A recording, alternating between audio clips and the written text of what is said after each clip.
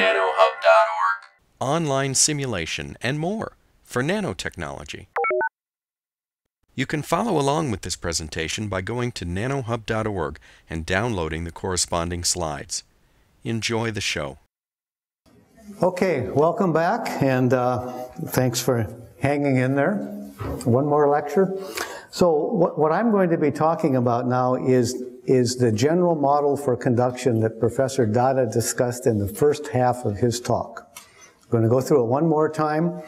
Uh, we'll do it slowly, and I'll do one or two things just a little bit differently. I'll do it in a slightly different notation, but it's the form of the model that I'm going to use for the next eight lectures. So it's worth seeing it again and, and getting comfortable with it. So it's a general way to, to uh, think about transport. Okay, so here are the things we'll go through. And I'm going to begin by talking about a simple model device for a nano device. And we'll begin like this. So we'll think of the device. So the, the device is some material. This is like the channel of a field effect transistor or something. And it's characterized by a density of states, D. So, you know, that might come from a band structure of silicon, but it might come from a set of energy levels from a molecule. It can be any material that can conduct current. Okay, what we haven't got a device yet because we have to put contacts on the device. Okay, so we'll attach two contacts, and uh, on the left and the right, I have two contacts. The assumption is that these are large contacts with lots of inelastic scattering that maintain thermodynamic equilibrium. Of course, things can't be exactly at thermodynamic equilibrium or there wouldn't be any current flow, but it's very, very close, close enough. So F1 is the Fermi function of the left contact, F2 is the Fermi function of the right contact. The left contact is grounded, the voltage is zero. The right contact has a voltage V applied to it. Later on, it'll have a, different temperature applied to it as well. Okay, so we describe both of those by a Fermi function because they're in equilibrium. And I'll write the Fermi level as EF, not as mu, because I'm, I'm going to be following more standard electrical engineering terminology where mu is always the mobility. All right. So you have to keep that straight. So EF1 is the Fermi level of the left contact. EF2 is the Fermi level of the right contact. And it's different because an applied, a positive voltage lowers the Fermi level. So EF2 is EF1 minus QV. That's what the voltage does. Okay, and we might have a gate. We might be trying to make a nanotransistor. We'd apply a voltage to the gate, and the gate voltage would change the potential inside the device. So it would change the self-consistent potential, that U, and that would just move the states up and down. That's how we would make a transistor. We just move those energy states up and down with an external gate voltage. I'm actually not going to be talking about transistors in this talk, or in fact in any of the lectures. Uh, so um, you can make a nice little model for a nanotransistor with this model, but that's not what we're going to be talking about. And then finally, we have to talk about the contacts. So the contacts are always important. So we need to specify the contacts somehow. The easiest way to specify contact is contacts is in terms of these times. So if that's a small molecule and we put an electron there, it might take a time tau 1 to escape into contact 1. Or it might take a time tau 2 to escape into contact 2. You know? So we'll have to talk about exactly what, what those times are a little bit later. Uh, but we could also express them in terms of energy with this, you know, looks like an uncertainty relation. So gamma is the broadening, and it's h bar over tau. That just expresses those times in units of 1 over energy, or h bar over energy. Uh, if this were a molecule, then what gamma would correspond to is that if a molecule were isolated, its energy levels would be discrete. If a molecule is attached to the outside world, there'd be some finite lifetime of the electrons in those states and the energy levels would broaden. That's why we call it the broadening. Okay, so current will flow in contact one and out or in, in the right contact, out the left contact. So we define it to be positive when it flows in the right contact. Okay. And then we begin by asking two questions. How is the number of electrons in the device related to the Fermi levels of those two contacts? And obviously it's going to also be related to the density of states of that channel material as well, and to those characteristic times. And the second question is, how is the current related to those same quantities? Those are really, those are the two questions that we're asking today. So here's our device again. And now, first of all, there are a few assumptions here that I just need to mention. So one is, I'm going to be describing this density of states or device by a band structure, an E of K. And for most of the lectures, I'm going to assume a parabolic band. Energy is h bar squared k squared over 2m. That's actually not necessary. All I need is a density of states. This might be a set of molecular levels. It might be an amorphous material or something else. We don't need a band structure, but for these lectures, we're going to assume we have a nanotube with a band structure. We have a piece of silicon with a band structure. We're going to make that assumption, and I'll refer you to Professor Datta's books and lectures that talk about a little more generally about how you do that without a band structure.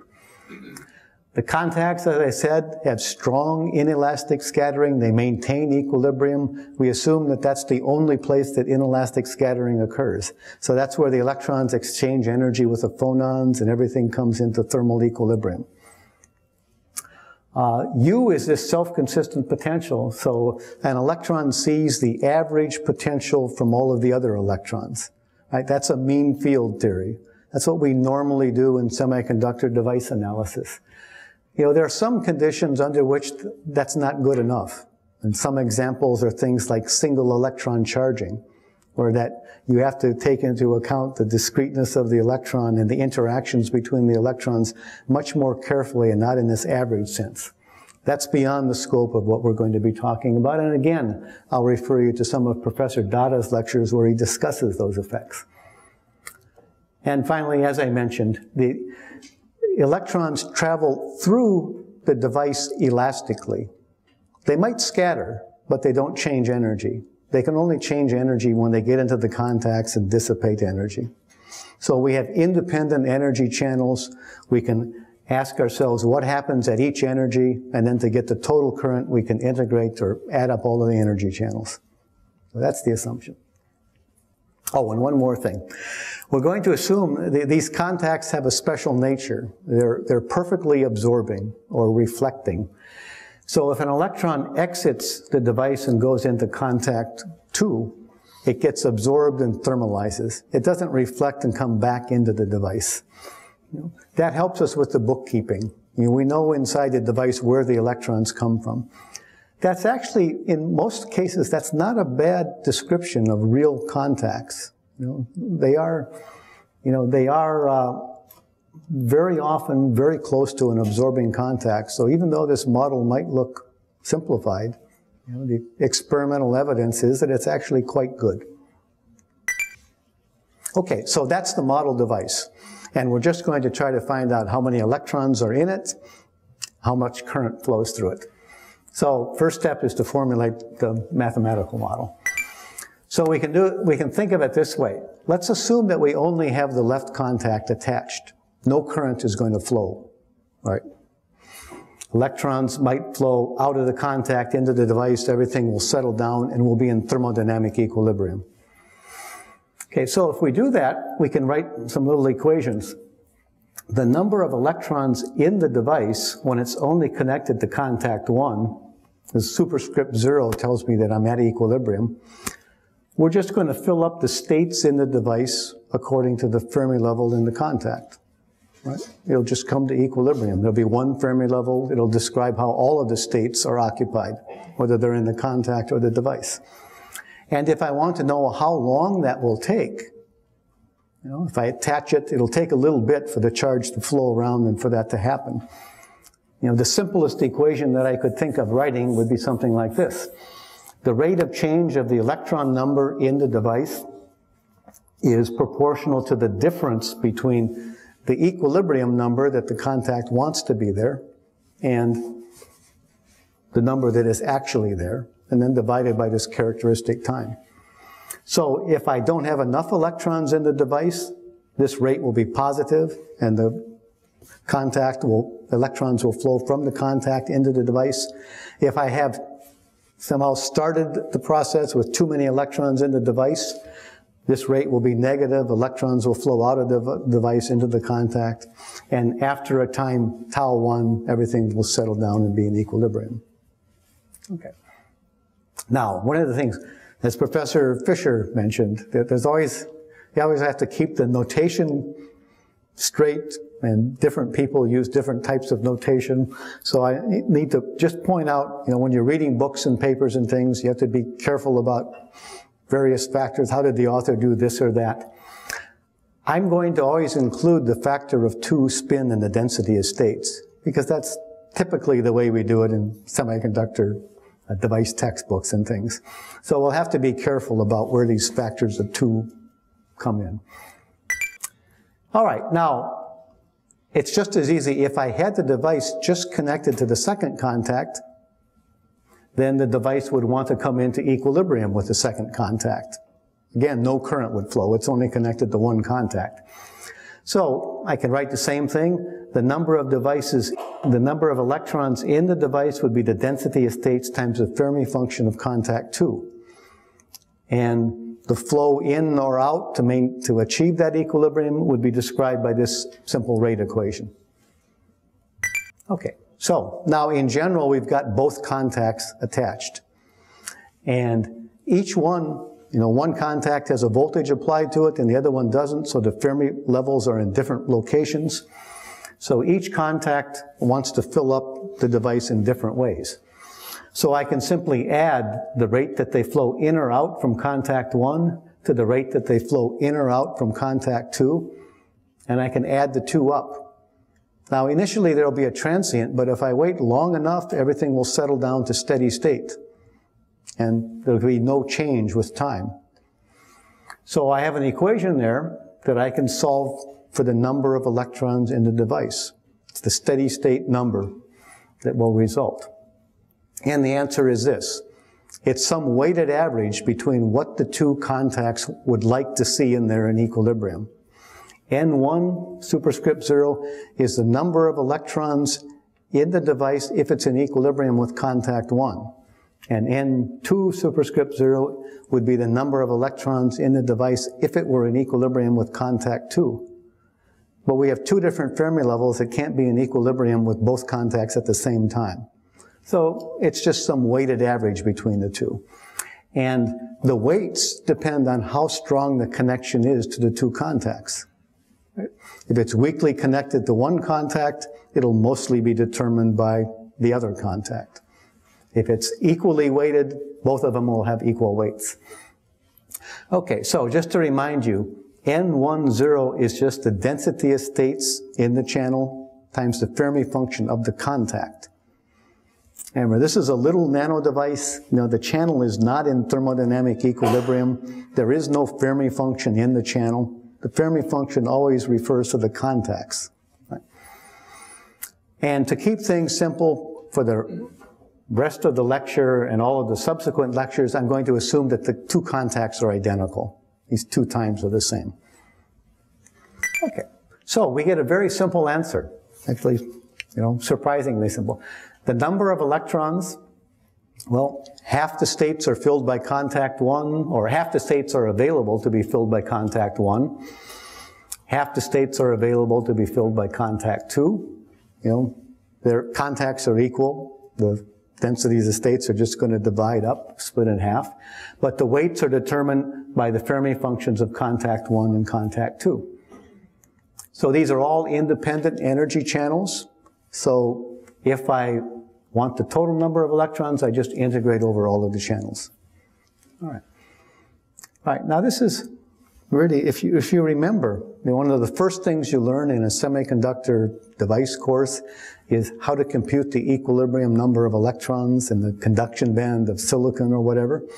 It's just an integral of the density of states times the equilibrium Fermi function. Right. Now, we're out of equilibrium. We have two different contacts with two different biases. But the result is very similar. It's an integral of half of the density of states times the equilibrium Fermi function of the first contact, plus half the, the other half of the density of states times the equilibrium Fermi function of the second contact. So you can describe this out of equilibrium situation very much like we, very much like we describe the equilibrium situation. We just have to remember that there are two different Fermi levels, there are two different sets of states that are filling those, uh, being filled by those Fermi levels. Okay, um, one more thing in terms of, of notation that we'll have to keep straight. So, you know, the density of states is, if this is a three-dimensional channel, then if its volume is twice as big, there'll be twice as many states. So the density of states will be proportional to the volume. If the channel is a two-dimensional sheet, like a MOSFET inversion layer, then the density of states will be proportional to the area of the sheet. And if it's a nanowire, like a carbon nanotube, then the density of states will be proportional to the length of the nanotube. Normally, in semiconductor courses, we express densities of states as per unit volume or per unit area or per unit length and per energy as well. Well, right now I, am not doing it. I'm doing it as total number because I'm asking for the total number of electrons. One of the advantages is I can do 1D, 2D, or 3D. You know, it's all the same. It's only at the end when I decide how I want to divide things up.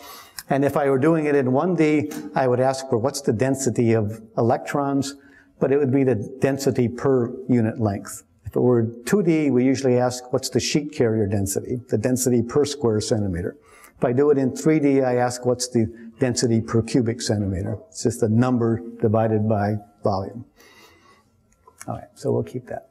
So we were posing these two questions, and we've answered the first. So the second question then is how much current is flowing? And that we can answer too. So we'll go back to our model device and we describe these two fluxes, this, this dn1 dt and dn2 dt. The contacts are, are either putting electrons into the device, F1 would be positive, or they're pulling it out, F1 would be negative. So both contacts are trying to fill up the device according to their Fermi level. And in steady state, the sum of the two has to be zero. Right? What comes in one contact just goes out the other contact. Okay. So if I want the steady state current, which is the, only question I'm going to ask, we just solve that little equation. And now the current then will just be Q times the flux that's coming in the first contact. Um, let's say that's positive. Then that same flux in steady state is going out the other contact, so it would be a negative flux. So it's minus Q times F2. Another notation thing, if you're, if you're in physics, you represent Q as the electron charge and it has a sign. If you're in electrical engineering, Q is the magnitude of the charge. So I'm an electrical engineer, so Q is the magnitude of the charge. Right? I think physicists would write this as E, is the magnitude of the charge. You know? People can't agree, so you just have to keep track of it. Okay, so we have these expressions for the current. We have already formulated what the fluxes are. The equilibrium carrier densities are just products of density of states times Fermi function. So we'll just insert those quantities in those expressions. Let's see, I, I really have two equations there. I'm relating it in terms of the flux in contact one, which is equal and opposite to the flux in contact two. So if I add those two equations, I get two times the current, and then divide by two, I get the second expression. Then I just plug these quantities in, and I expand it a little bit, and we have an expression for the current. Right? Just straightforward algebra. So we've answered our second question. You know, the current is 2q over h times gamma pi d over 2 f1 minus f2. So this is an equation. We want to get familiar with this. We're going to use this throughout the next eight lectures. I'm going to express this in slightly different form, but it'll be the same equation. The important points here to remember, there have to be a difference in Fermi levels or current won't flow. if both contacts have the same Fermi energy, there's no reason for current to flow. The density of states, remember I included a factor of two in the density of states because that's the way most semiconductor people do it. So density of states divided by two is a density of states per spin. You might ask, why do I have a two out front and divided by two? It's because this is the way people like to write it. The two out front we think of as accounting for spin. The d divided by 2 is my density of states per spin. And then pi is just pi, and gamma is this broadening. Okay, so it's all, it's all very simple. All we have to do now for the rest of the lecture is just think about these terms a little bit. So the next thing I want to talk about is this concept of the number of channels for conduction, or also we'll call that, people call that modes. And we'll talk about why we call that modes. All right. So this is the expression we've derived. Just a few simple, straightforward arguments following the, the work that Professor Datta has done over the past few years. Now we have this expression. Now let's look at this and, and see if we can make some more sense of it. So we have this term gamma pi d over 2. You know, what is this? Well, gamma has the units of energy. Right? It's the broadening. Okay. Density of states has units of 1 over energy. Pi doesn't have any units. So this is some number, dimensionless. You know, what is it? Well, we're going to show that it is the number of channels for conduction at the energy E. And we'll have to see if we can see why that is. So, you know, everything that we're doing here, we can do in 1D, 2D, and 3D. I, as I told you in my introduction, I'm mostly going to work out examples in 2D just because, you know, you'd get bored of seeing it done in all three dimensions and lots of problems involve 2D. So let's think of a sheet, like maybe the inversion layer of a MOSFET. So there, those are our two contacts. We have a two-dimensional density of states so now just a little bit more notation. When I write D sub 2D, I'm going to mean the density of states that you find in the semiconductor textbooks. The number of states per square centimeter per electron volt.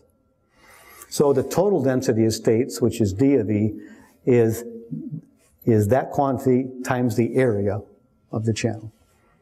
And that quantity, if you have parabolic bands and you've had a an introductory semiconductor course, you've probably worked out. The density of states in 2D is effective mass over pi h bar squared. That's something we, we know. Okay, so let's see if we can figure out what this uh, gamma or tau is. And I think Professor Datta already discussed it, so we know the answer, but we'll see it one more time. Okay, so these are our two expressions that we've developed for the current and for the number of electrons in the device. Now, let me divide the two. So what's on top is the total charge in the device. Q times N is the total amount of charge in the device, and I is the current. So I'll just divide those two. Okay. Now, let me apply a large enough voltage at contact 2 such that it lowers the Fermi level in contact 2, such that it has no probability of occupying any states in the channel. Its Fermi level is pulled down so low. Okay. So now F2 is basically zero, and all of the electrons that come into the device come in from contact 1.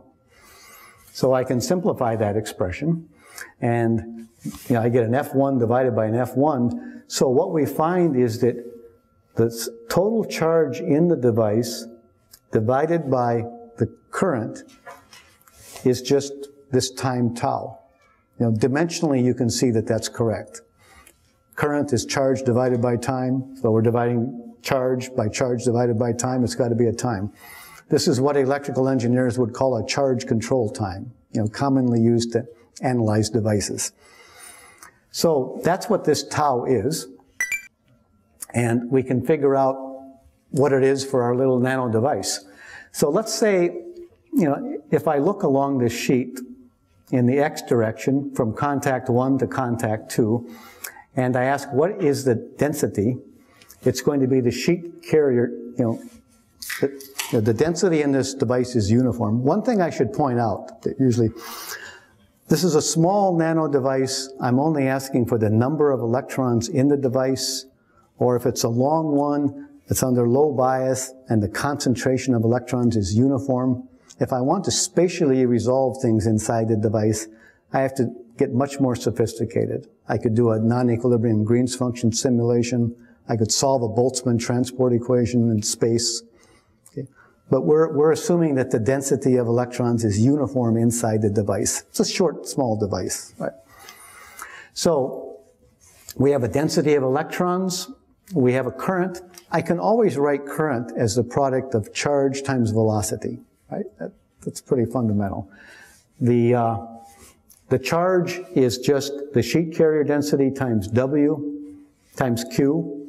The velocity, this is the average velocity in the direction of current flow. That's what this average Vx plus is. The average velocity flowing in the plus x direction.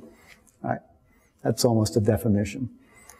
So if I just divide those two quantities, I'll divide stored charge by the current, we find that this transit time is L divided by the length of the device divided by the average velocity that they're traveling at. That's the transit time. Right? And you saw that from Professor Datta, right? We could have probably guessed that. Okay, so let's see what we have here. We have to be a little bit more careful. Professor Datta also mentioned that you might have to do some averaging over angles and things. If this were a 1D nanowire and everything was just moving in the x direction, we'd be done. But it's a 2D sheet. So electrons are coming in from contact 1 and they can have any angle between plus and minus pi over 2. And we want the average velocity, the x-directed velocity of those electrons that are moving in the xy plane. So the average velocity, so Vx is just V cosine theta, where V is the magnitude of the velocity. So I have to take the average value of cosine theta. Well, that's easy to do. Theta is distributed between minus pi over 2 and plus pi over 2. So all of the incoming electrons are distributed over a range of angles of pi. So the average cosine theta is just 2 over pi. So this average velocity in the x direction is just 2 over pi times the magnitude of the velocity. And again, you know, I'm, I'm using parabolic bands over and over again, and the danger that you shouldn't let yourself fall into is, is thinking that any of this applies just to parabolic bands. That's why we have lecture 10 when, when we'll do graphene. So what's the magnitude of the velocity? In a parabolic band, 1 half mv squared is equal to energy. So the velocity is just proportional to the square root of kinetic energy. Okay. So now we can go back to this question. Remember the, the question is, what is this quantity m, the product of gamma pi d over 2? Well, the broadening is just h bar over tau, and tau is L over the average velocity. Uh, the density of states, uh, we know also. So we find that the number of channels is just width proportional to the width. So that's kind of intuitive. The wider the channel is in the direction coming out of the page, the, the more channels there are. It's proportional to average velocity times density of states. So this is actually very general. If I want to find the number of channels, this is the way that I can do it. It's still not giving me a physical sense as to what these are, but this is a prescription that works all the time. In 1D, it's just h bar over 4 times the average velocity times the 1D density of states. In 2D, it's proportional to the width and it's width times h bar over 4, average velocity times dens 2D density of states. And in 3D, it's a similar thing, but it's proportional to the cross-sectional area. Okay. But the question still is, what does this mean? You know, what, what, and why do we call them modes? You know, why do we call this number of channel modes? Okay, so you know, we know what's in here. We know what the average velocity is. We know how it's related to energy. We know what the 2D density of states is for parabolic bands. So we can just plug everything in and we can work out an expression for what M is. And this is the expression. Okay, then the question is, what does that mean? Well, if I look down here, for parabolic bands, I can solve for k. k is the wave vector of the electron waves, 2 pi over de Broglie wavelength, right? 2 pi over lambda. So I can solve that bottom equation on the right for k, put it back into my expression for m, and we find that m is wk over pi. Okay, it's getting simpler. Uh, k, the wave vector, is 2 pi over lambda. So m is the width of the channel divided by the half wavelength of the electron at that energy. Okay, so what does that mean? M is, so now it's easy to, re, to remember. It's just the number of half wavelengths that fit into W. So if I go back to my 2D conductor, if I assume that there's only one subband occupied in the Z direction, then the question is, how, you know, I have some finite width, so the wave function has to go to zero at the two edges of the channel. And, you know, how many channels are there associated with that finite width? Well, it's just W divided by a half a wavelength. So uh, look, if there's one, if M is equal to one, if there's one channel, it means that the half wavelength of the electron is just equal to the width. That means that, you know, the wave function has to go to zero at both sides, and the wave function fits in. Okay, what if there are two conducting channels? That means that the wavelength of the electron wave is W. That means something like this is the mode that fits in. Okay. Okay, but I also have a mode like this that has a smaller wave vector in the y direction. That also fits in. So now I've got two different KYs that fit in. So each one of those is a separate channel for conduction, and that's why I have two channels for conduction. So this is why we call them modes. This looks like an electron waveguide. So people saw an analogy to waveguides. Uh, you, you establish the boundary conditions for electrons at the two um, boundary conditions, and it looks like a, a waveguide, like one for electromagnetics. So that's why we call these modes. You know, the number of channels is equal to the number of modes. Okay, so we have a simple physical interpretation. M is the number of electron half wavelengths that fit into W. That's what gamma, gamma pi density of states over 2 is. So let me just point out, the density of states is probably something you've all seen. Uh, you've worked it out for parabolic bands. You can work it out in 1D, 2D, or 3D. And you have these characteristic shapes. In 1D, it goes as 1 over the square root of energy, so it goes to infinity at the bottom of the band. In 2D, the density of states is constant for parabolic bands. In 3D, the density of states goes as the square root of energy. Okay, okay but now we have this other quantity, m. And m is just velocity times density of states. So if I work out m in 1D, 2D, and 3D, m is just constant. In 1D, if I have you know, one subband occupied, m is just 1. In 2D, it, it's proportional to the square root of energy because as the width gets wider, more and more of these modes can fit into the width. And in 3D, it turns out to go linearly with energy. Okay. So, you know, just to summarize, the density of states is probably something that you're all familiar with. When we want the number of electrons, we integrate the density of states times a Fermi function. Okay, now we have this number of modes or channels. We need to understand what it is because we integrate M when we want to find the current. And it's worth remembering that the, num that the two are related and that the number of modes is proportional to the average velocity in the direction of transport times the density of states. And it's also worth remembering, I showed you it's different in 1D, 2D, and 3D. But you shouldn't forget that it also depends on the dispersion of the band structure, because I assume parabolic bands in all three cases. If we go to graphene, you'll say well, graphene is a 2D conductor. but its number of modes won't be what I just showed you because graphene doesn't have a parabolic band. So it depends on both. Okay, so continuing on. The next concept we have to talk about is transmission. And I remember Professor Fisher mentioned this. I think Professor Datta might have too. I don't recall now. Was, so let, us talk about transmission. So back to our channel. You know, ballistic transport. Electrons just come in one contact and shoot across the other to the other and exit without any reflections. It's a perfectly absorbing contact. You know, they don't encounter anything to scatter from. But they might come in at an angle, and that's why we did that average over angle to get the average velocity in the x direction. That's ballistic transport. Uh, you know, if there's any scattering from the boundaries, we assume that the boundaries are atomically flat and it's specular scattering. So angle of incidence equals angle of reflection, and it doesn't have any effect on the current flow. In a real device, of course, there'll be roughness there and that'll be a scattering mechanism, but we're ballistic here. Now, what's diffusive transport?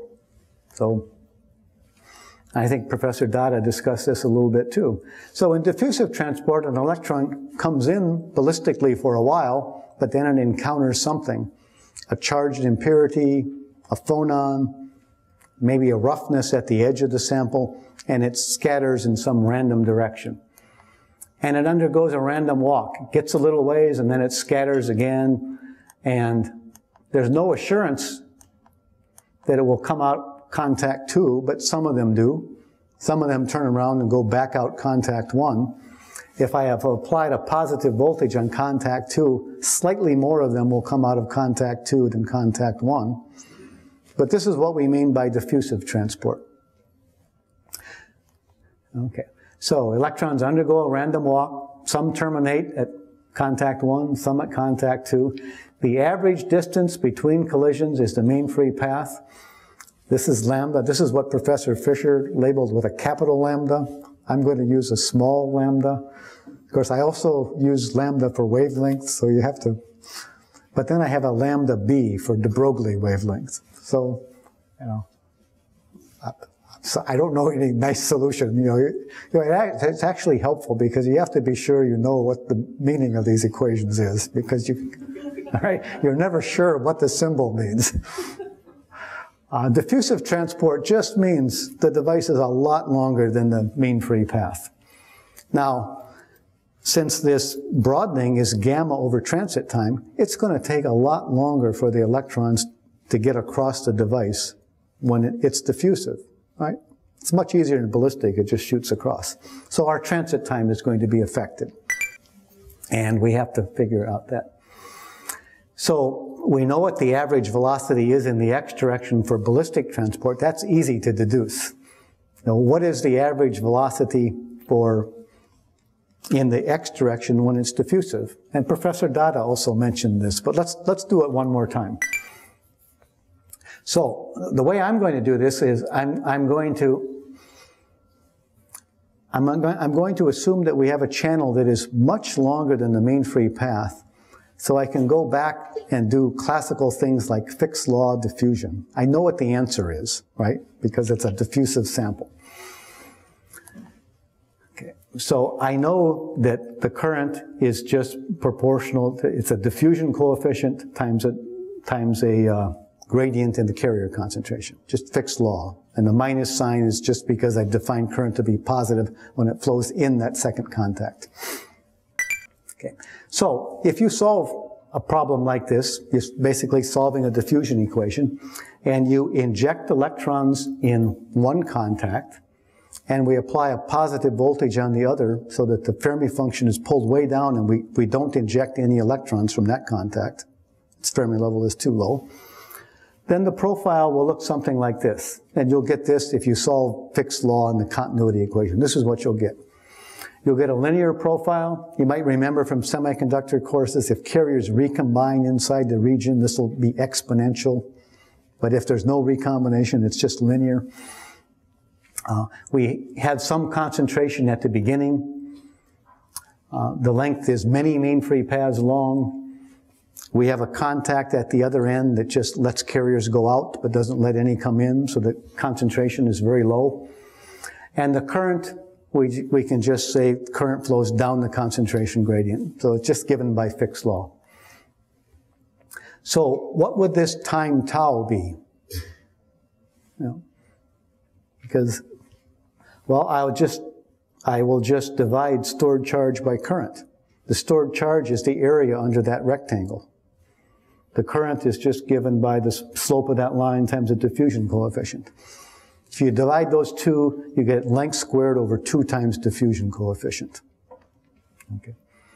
Another notation thing. I also have a problem with D's. You know, some D's are densities of states, some D's are diffusion coefficients. All right. I write it D sub n because, so you'll think of it as the electron diffusion coefficient. But of course this works in a p-type sample too, but that's my notation. All right, so, you know, that, that's actually, you know, that's a very useful thing to remember. Many of you probably know that answer. How long does it take for particles to diffuse across a region? length of the region squared divided by 2 times the diffusion coefficient. All right, so now we can go back. We have this parameter gamma in our current equation that we have to evaluate. And when we did it ballistically, it was just h bar divided by the ballistic transit time. When we do it diffusively, it's h bar divided by the diffusive transit time. Right, that's the only thing that'll change. The ballistic transit time is just L divided by the average ballistic velocity. The diffusive transit time is L squared divided by 2 times the diffusion coefficient. Now, we'll see this a little bit later. i am just going to plop it in here now. The diffusion coefficient is related to the mean free path. And actually, you can show, and you know, we'll come back to this later in some, some other lectures, that the diffusion coefficient is the average velocity in the direction of transport times the mean free path divided by 2. Right. That isn't intuitively obvious, but we'll see where it comes from. But at least you can see it's dimensionally correct. You know, velocity is centimeters per second, mean free path is centimeters, so it has units of centimeters squared per second. Okay, so we're trying to evaluate this broadening gamma sub d for diffusive transport. So let me write it as the ballistic quantity, h bar over ballistic transit time, times the ratio of ballistic transit time over diffusive transit time. Okay, so gamma for the diffusive case is just gamma for the ballistic case times this ratio of transit times. Okay, the ratio of transit times we have right here. We can just compute. And if you do that, you'll find that the diffusive gamma is mean free path divided by length times the ballistic gamma. And since we've assumed diffusive transport, the mean free path is much smaller than the length, so the diffusive transit time, or the diffusive broadening is much less than the ballistic broadening. Diffusive transit time is much greater than the ballistic transit time. Okay, so, you know, when we were computing current, we had this number, the number of channels was important. Okay. If we go back to our current expression, we have to replace gamma sub b, the ballistic quantity, with the diffusive quantity. So all we have to do, and you can see that the ballistic quantity is just the diffusive quantity times this ratio mean free path divided by length. So we can simply replace m in the ballistic case by the product of m times a number right? Gamma, or mean free path divided by L is just a number. That number we'll call T, transmission. And it's very much less than one for ballistic transit, transport. It's just the ratio of the mean free path divided by the length. Professor Fisher used a similar expression. You used, you had some Greek letter squiggle or something for this. Okay, I'm using T. You, will notice earlier I used T sub L for temperature. That's the temperature of the lattice. And since we're near equilibrium, the temperature of the lattice is also the temperature of the electrons. Because I wanted to use T for transmission. So it's another one of these notation things I have to worry about.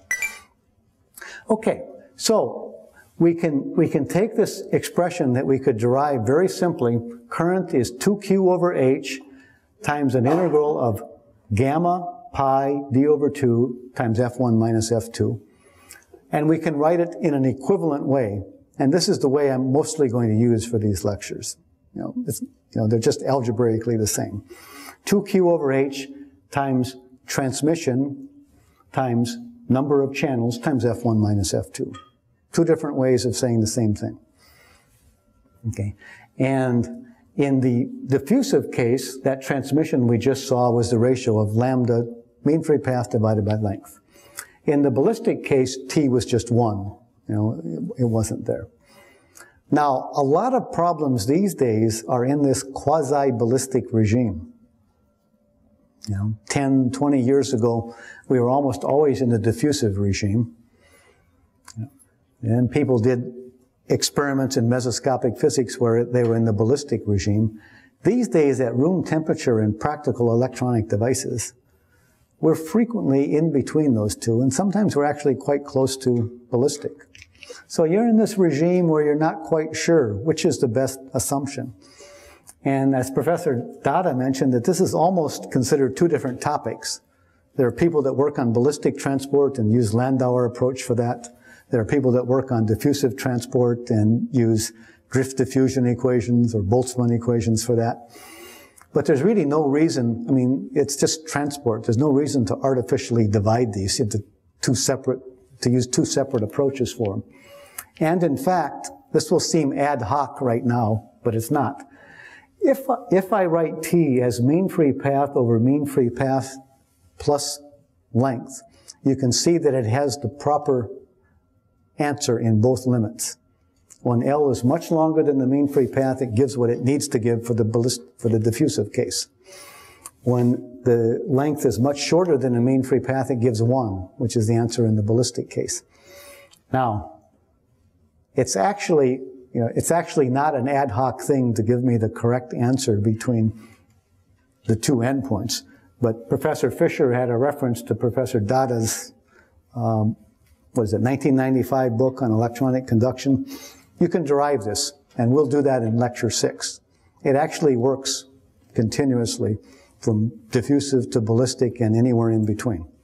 So it gives you a very nice technique. That, that's one of the reasons that we like this method, is we can, we can treat transport from both limits and in between with one way of doing that. Okay, so just a couple of more things, and uh, and we'll be ready to call it a day. So we have this expression for the current. You know, I can write it in a couple of different ways. This is the way I'll mostly be doing it. And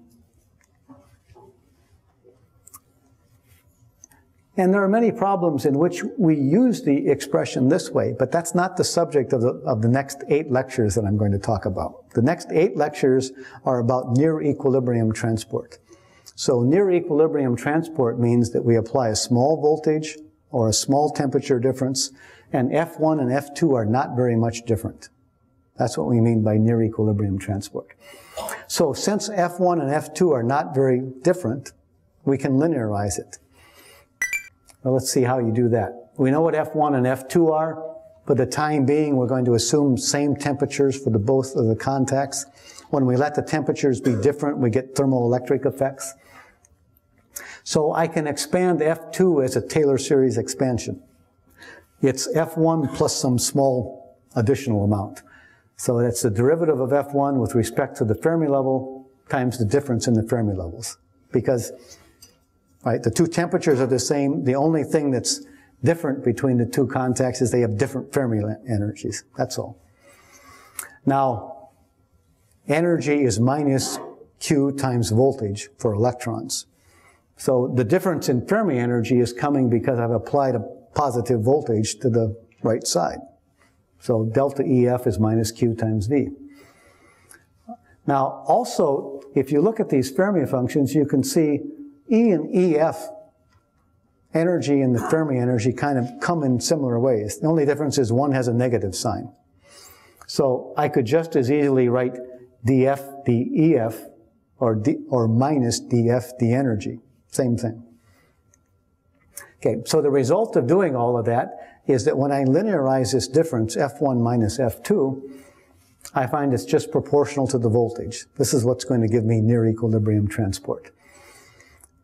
And the bottom line then is that we can simplify that expression, general expression we had for current, into an expression for small differences in the two Fermi functions or small applied voltages.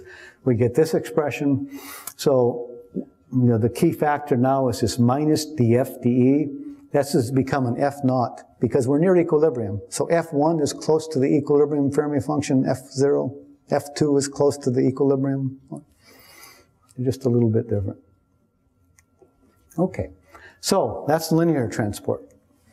So I want to mention here just briefly, again, this is a topic, Professor Datta touched on this, so we can, uh, well, we should mention it again here. Um, most transport theory, if, if you look at traditional books from the 50s, 60s, 70s, probably 80s too, near equilibrium transport is all about transport in the bulk. It means a, structure that is many mean free paths long and you don't even think about the contacts. You know?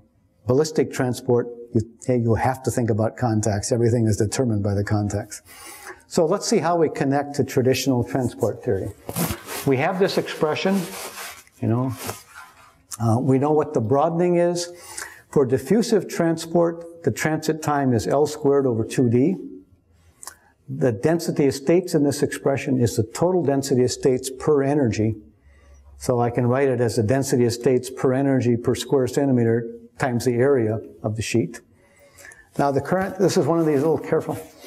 Normally when we're doing these little devices, we apply a positive voltage to the second contact.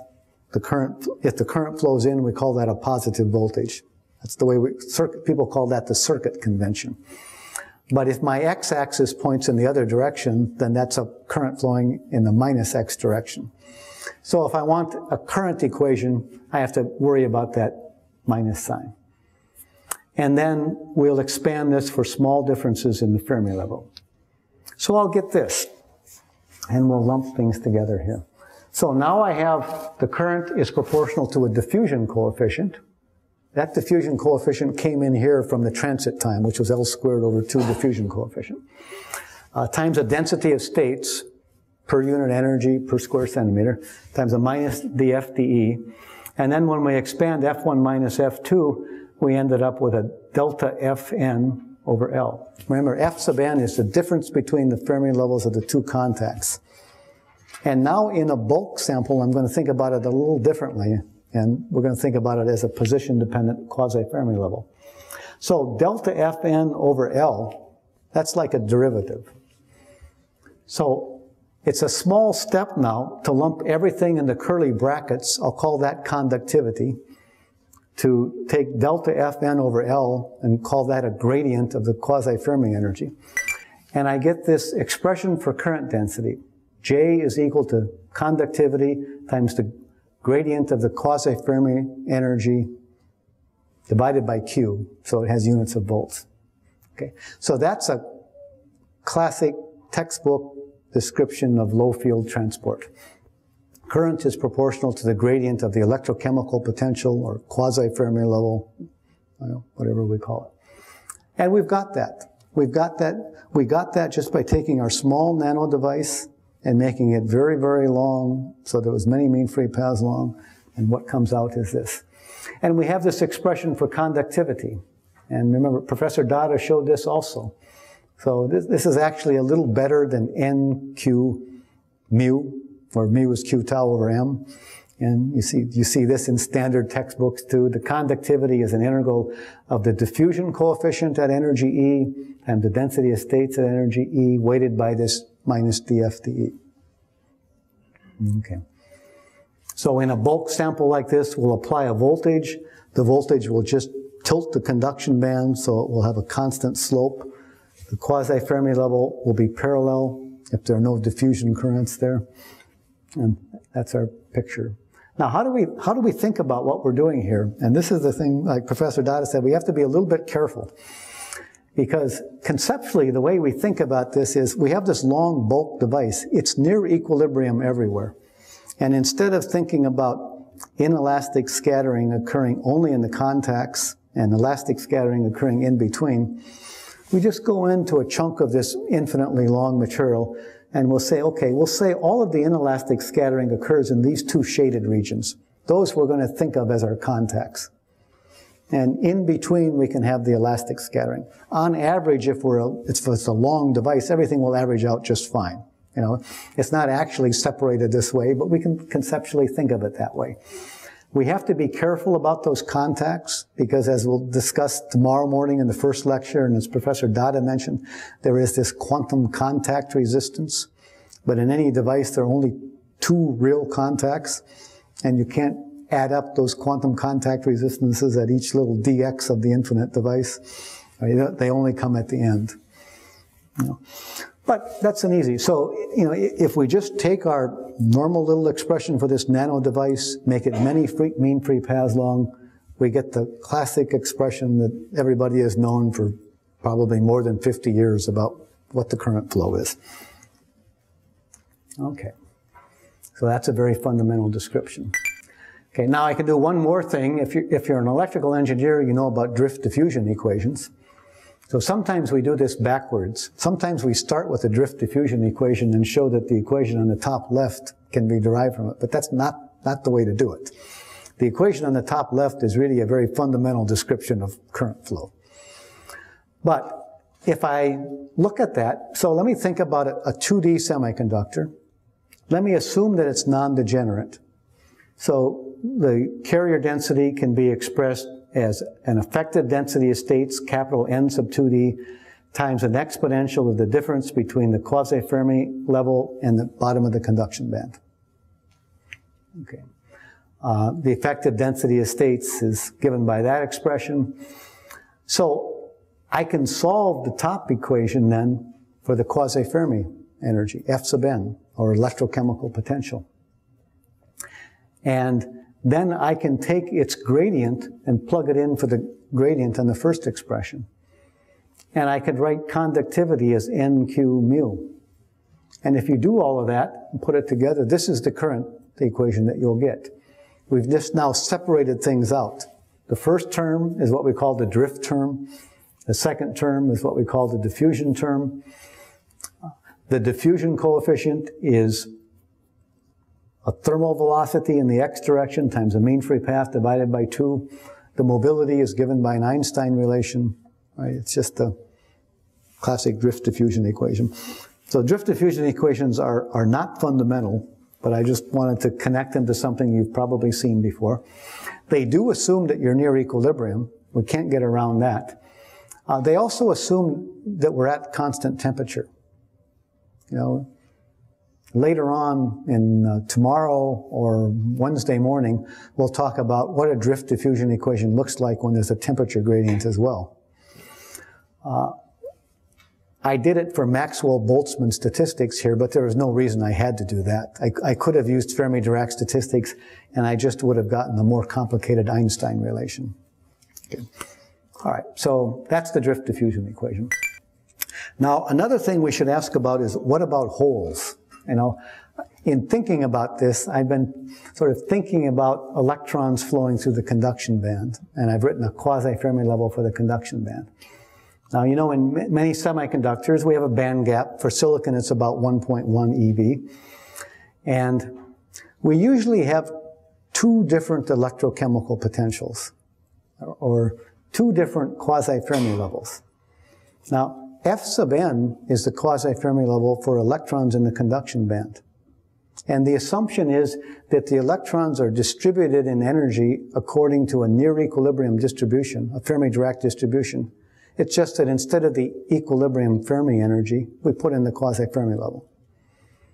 Now, the holes are not necessarily in equilibrium with the electrons in the conduction band. Right? We might be shining light on this, and we might have vastly increase the number of both electrons and holes. Okay, so we need two separate quasi-Fermi levels, one to describe the population of the valence band and one to describe the population of the conduction band. Now, you might ask, you know, how do we compute the conductivity in the valence band? You know, and here you could, you know, you could get yourself you know, turned around easily, you could start thinking that, well, I shouldn't be talking about f, the Fermi function, I should be talking about 1 minus f, and I should be thinking about holes. But it turns out you don't have to. You know, these are the expressions we got. And what happens to these expressions when the conduction is occurring through the valence band? We just replace the subscript n with the subscript p and we don't change anything else. That, that f there is the Fermi function. And if you think of that, you know, in, in the model when we talked about it, in the model that Professor Datta talked about this morning, you know, you had a Fermi level and one contact, you had a Fermi level at another contact. If there were states in between, you, you had current flow because electrons were flowing through those states. If the electrons are flowing through the conduction band states, we call that N-type. If the electrons are flowing through the valence band states, we call that p-type. We don't have to think about holes. It's electrons flowing in both cases. So all of the expressions that we have work for either electrons or for holes. Or in some cases, you know, we have bipolar conduction. We have both occurring at the same time. We just integrate over both bands. So from time to time in these lectures, you know, I'll stop and you know, there's things like Seebeck coefficients are positive for N-type and negative for P-type. We'll talk, we'll stop and talk about that momentarily. But I won't be saying a whole lot about, about holes because, you know, everything I'm saying about electrons, you can evaluate parameters for holes in just the same way. Okay, so let's summarize and then see if there are any questions. So the key idea to keep in mind is that current flows whenever there's a difference in Fermi levels, or if it's a bulk material, wherever there's a gradient in the electrochemical potential. Um, we developed these really simple expressions for how we compute the current flow that are remarkably useful. You know, they're very, very simple, but in practice they turn out to apply to a wide class of problems uh, very simply. And these are equivalent. So I can go back and forth, whichever one is most convenient for the uh, problem at hand. I'm primarily going to use the one on the bottom for the, for the rest of the lectures. Now, for small applied biases, we just expand F1 is just a little bit different from F2. We just expand it, and then we get current is proportional to voltage. If we only have a temperature difference, we'll get current is proportional to the temperature difference. But it'll be linear, and we'll get expressions like this. Uh, if we want to go to the bulk, then we just let the conductor be many mean free paths long, and we naturally recover the conventional expressions for current flow in a bulk material.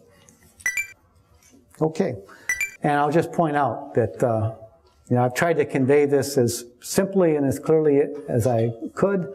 Uh, this is the conceptual basis. We're going to work out the consequences of all of this in the, in the next several lectures.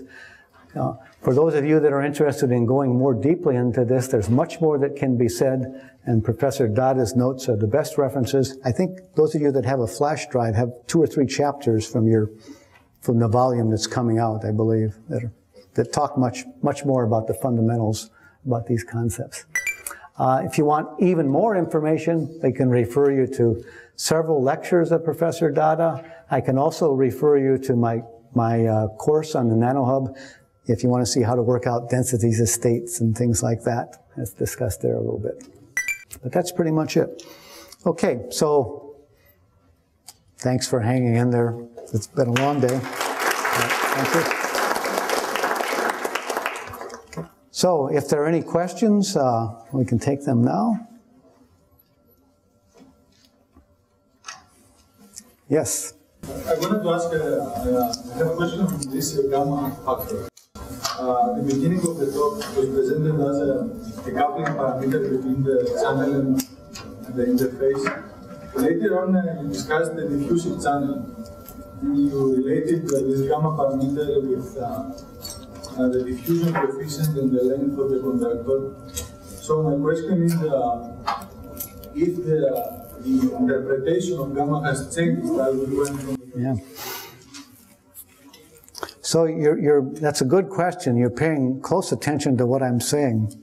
Well, I hoped I had done that quickly enough, but but it's a it's a very it's a very good question, and, and we can I can ask Professor Datta to comment if he likes to. If you're thinking about if you're trying to compute the IV characteristics of a molecule, I think you would think of these tau one and tau two as the escape time. You put an electron on a molecule, this is how long it takes to get out. If you're trying to think about the the current flow through a carbon nanotube or something, then the longest time is probably the time it takes to travel across the device, and the relevant time becomes a, a transit time. So I think the physical interpretation of that particular time probably depends on which problem you're, you're thinking about. Is that, is that the way you would think about it? Usually thought of it as the time it takes to get from one contact to another. And a major part of it could be the interfaces, or it could be the yeah. transit.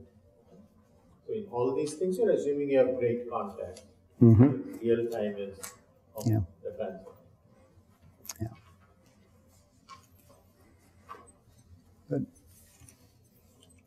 Yes. Another question.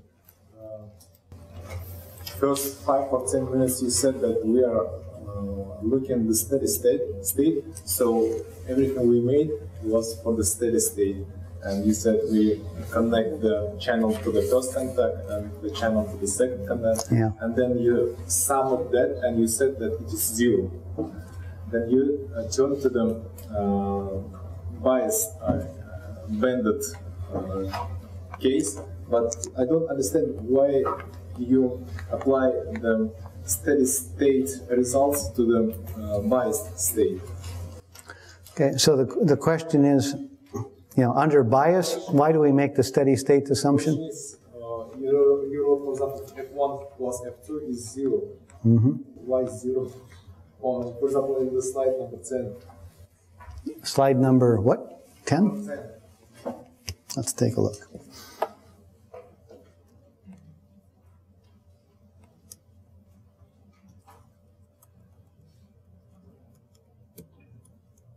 This one? Is this the right one? Yes, this is using the uh, zero. And yeah. And instead, if you uh, connect the channel to the both contacts, I think it will not be zero. So your, your question is why why is this zero? So th that's just a def you know out of equilibrium. Um, we can still be in steady state. That just means when I applied a bias and waited long enough, everything will settle down. There'll be some constant current and there'll be some constant number of carriers in there. Now, it doesn't mean that things aren't happening in time. The electrons are continually coming in one contact and continually going out the other. But, you know, the electron density has settled down. You know, the system will settle itself down until it, it reaches a steady state value.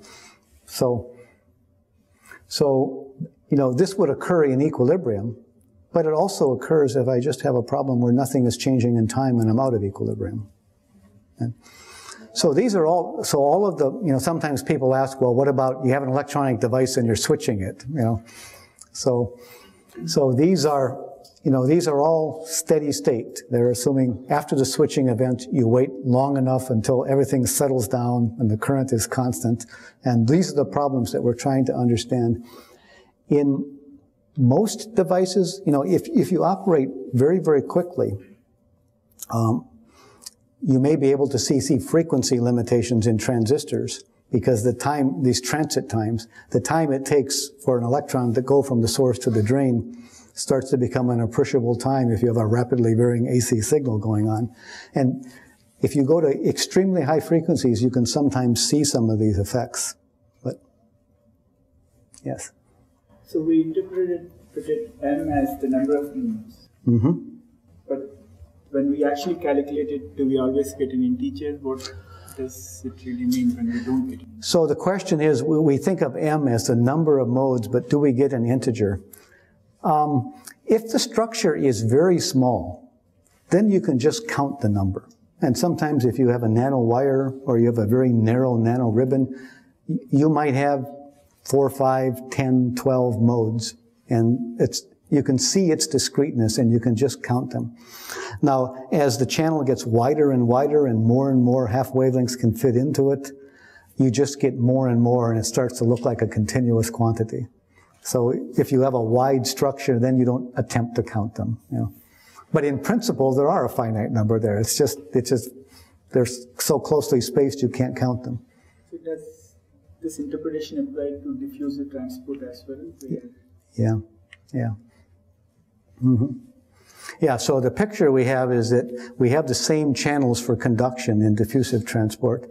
It's just that the probability that an electron that comes into that channel, the probability that it goes out the other side is now much smaller. But the number of channels is the same. Yeah. Yeah. I have a question on this slide, 10. So you made an assumption that tau 1 is equal to tau 2. Yeah. And you got dE over 2 terms in your expressions. Yeah. So if you don't make that assumption, then you will get some terms uh, as a function of tau 1 and tau 2, right, in your expression. Right, right. So, but if, uh, like, what the argument that Professor Datta gave in the morning, uh, that why we have uh, dE by 2 term. Why, why we have, dE divided by 2 term Mhm. in the expression. He said that it's because it's the plus k states have like half half of the states are plus k states and half of them are minus k states, right? yeah. So how do we interpret these two? Yeah. I mean, you can just see from the math here that if tau 1 and tau 2 um, are equal, they're going to split in half. And then, then, you, then you say physically what's going on. And, and you can see in the ballistic case, you can see why it happens. Electrons come in from contact 1 and they're flowing in a positive direction. They can only occupy the plus k the plus k states, and only half of the states are that way. And in the other way, if they come in from the other contact, they only can come in with a negative velocity, so there are only half of the states that they can occupy. But even when there's diffusive scattering and it's all mixed up, uh, you're still going to, if the contacts are the same, they're still going to divide that way equally. You know. But in the ballistic case, like if tau 1 is not equal to tau 2, yeah. then we'll get some, like we'll not get dE over 2.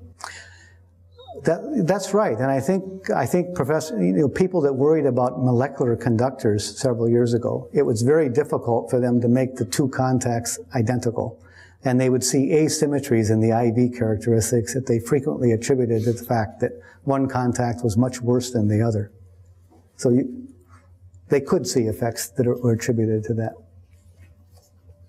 Yeah, Uh, on slide 18, 18.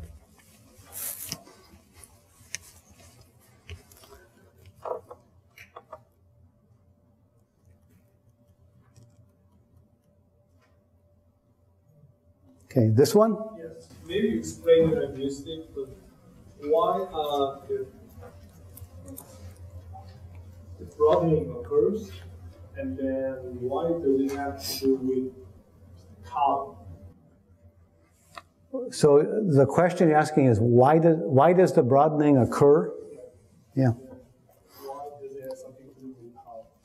And how is it related to tau? All right, so there, there are two answers I can give to this.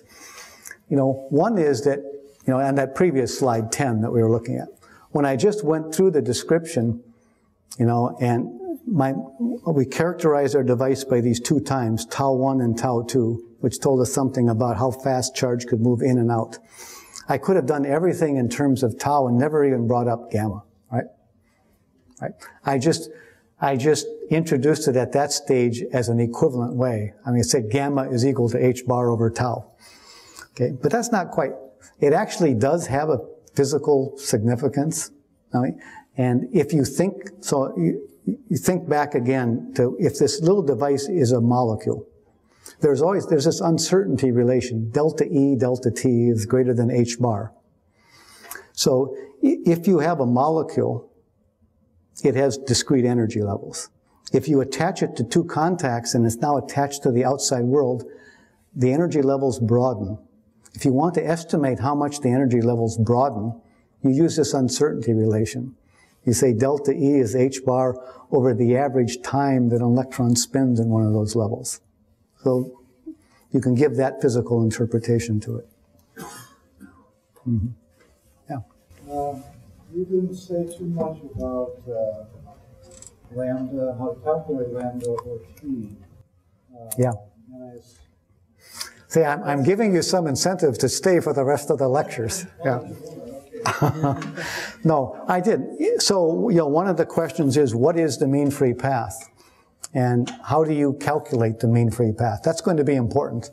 I'm going to do two or three lectures here where I'm just going to assume that some smart person has calculated the mean free path and given it to us. So it's just a given quantity. Uh, but in lecture six, we'll talk about scattering. I'll, talk about where that comes from and how you compute it. Yeah. follow up on, how far can you push this? What if I, you know, instead of talking about MOSFET, what if I push the gradient bias way up? How, how, how would this model uh, fare? Um, so are you you concerned about pushing it in terms of applied voltages that you? Yeah. You always assume Yeah. uh. Right. So in the next lecture, you know, we'll analyze some MOSFET characteristics. And where this really applies is down near VD is near zero. You know, the initial part of a MOSFET characteristic, it operates like a voltage controlled resistor. Right? That's where this applies to. And we can get some uh, estimate of what the mean free path is of electrons in the channel, you know, by analyzing that region.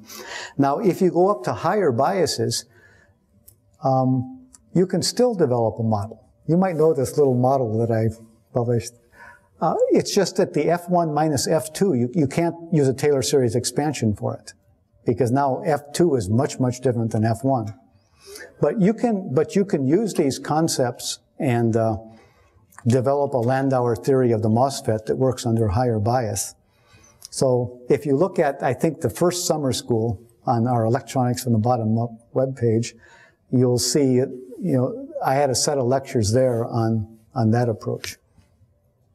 This. No. I think I might do it again next summer. You should come back next summer.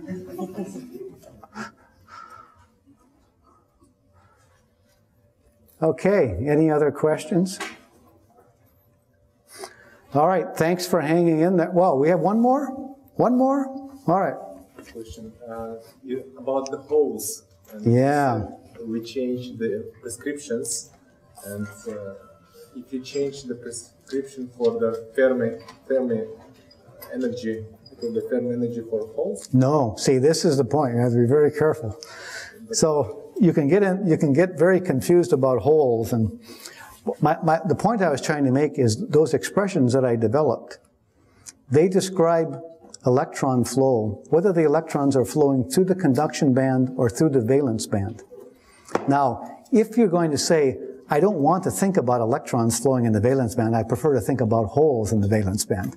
Then you have to go through and you have to redo these things and and you have to be very, very careful that you don't make any mistakes. But my point is you don't have to do any of that.